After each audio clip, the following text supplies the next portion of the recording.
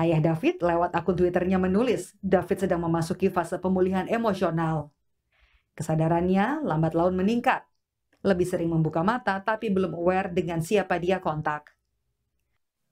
Kondisi David menunjukkan perkembangan yang baik karena sudah sering membuka mata, namun belum bisa berinteraksi.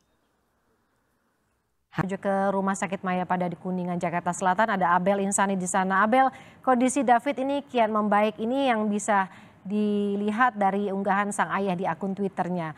Untuk hari ini, seperti apa perkembangannya?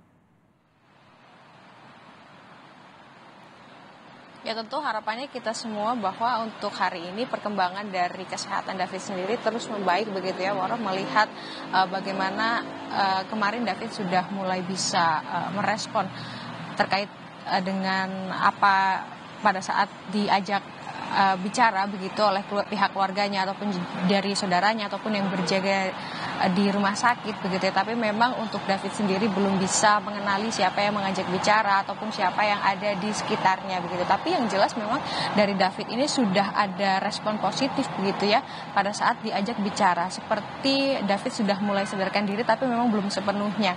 Ada respon-respon seperti membuka mata, lalu juga ada juga uh, menggerakkan tangan ataupun juga kaki begitu. Nah ini adalah respon-respon positif uh, atau juga perkembangan baik yang diperlihatkan oleh David kepada kita semua melalui uh, sosial media ataupun juga unggahan dari ayah David sendiri. Tentunya dari hal ini juga uh, terus dipantau oleh pihak dari rumah sakit dan juga akan dilakukan uh, apa namanya pemeriksaan secara intensif begitu kepada perkembangan David ini karena untuk saat ini pun David sebenarnya memang sudah tidak dipasang ventilator begitu ya dari dokter tapi masih memasang tracheostomi di mana ini fungsinya untuk menyalurkan oksigen langsung ke paru-paru David dengan tujuan agar David uh, tidak mengalami gagal dalam pernafasan. Tentu saja ini uh, menjadi kabar yang uh, cukup uh, meringankan begitu ya bagi pihak keluarga karena David saat ini sudah sadar meskipun belum sepenuhnya sadar tapi sudah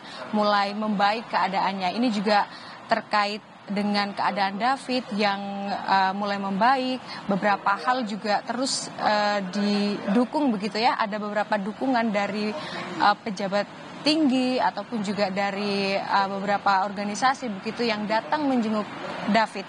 Mulai dari menteri-menteri yang datang, dari Menko Polhukam, ada dari Menteri Agama, dari Menteri Keuangan, ada dari Wakil Menteri ATR begitu yang datang untuk menjenguk dan melihat keadaan David.